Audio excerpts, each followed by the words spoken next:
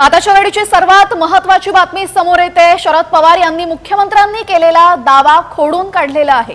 उद्धव ठाकरे यांना मुख्यमंत्री बनवणारच नव्हते. मला मुख्यमंत्री बनवणार होते असा दावा एकनाथ शिंदे यांनी केला. मात्र हाच दावा आता शरद पवारांनी खोडून काढलेला आहे. मला उद्धवनाच मुख्यमंत्री बनवायचं होतं. शिंदेचा दावा शरद पवारांनी खोडला.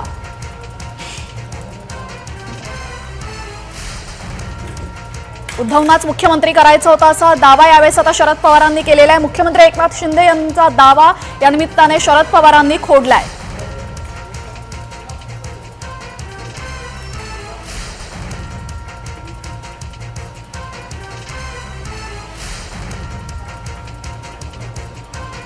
उद्धव ठाकरे यांना मुख्यमंत्री करण्याचं अचानक ठरलं.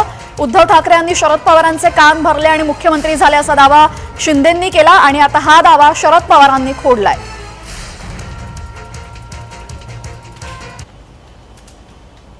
या संदर्भात अधिक माहितीसाठी आमचे प्रतिनिधी शुभम उमाळे जोडले गेलेले आहेत.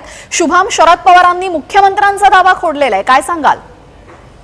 अर्थातच बघायला गेलं तर लोकसभा निवडणुका ज्या आहेत त्या सुरू झालेल्या आहेत पाच टप्प्यामध्ये आहे आणि याच्यामध्ये आता गौप्यस्फोट अनेक समोर येत आहेत. जे. पाच वर्ष आधी घडलं. जे महायुती महाविकास आघाडी असे जे दोन प्रमुख घटक महाराष्ट्रामध्ये सुरू झाले त्यामधील आता गौप्यस्फोट जे आहेत ते हळूहळू समोर येताना दिसत आहे. वृत्तवाहिनीला मुलाखत देताना आधी उद्धव ठाकरे यांनी एक गोष्ट सांगितली होती की आदित्य यांना मुख्यमंत्री करायचं होतं.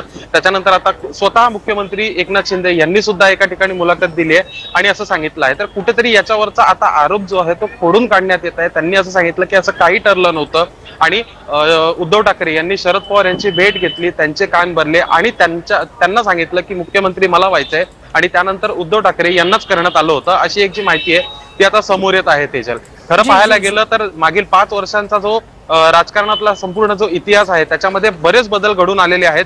पण आता इलेक्शन आहेत आणि कुठेतरी मतांमध्ये फायदा होऊ शकतो का? अशा सगळ्या अनुषंगाने जे आहेत गौप्यस्फोट जे आहेत हळूहळू समोर येताना दिसत आहेत. याच्यावर आता फडणवीस देखील काय प्रतिक्रिया. देणार आहेत उपमुख्यमंत्री देवेंद्र फडणवीस? हे सुद्धा पाहणं तेवढंच महत्वाचं असणार आहे शुभम या संपूर्ण राजकीय घडामोडींवर आपण लक्ष ठेवून राहा. तुर्तास धन्यवाद आपण दिलेल्या माहितीबद्दल.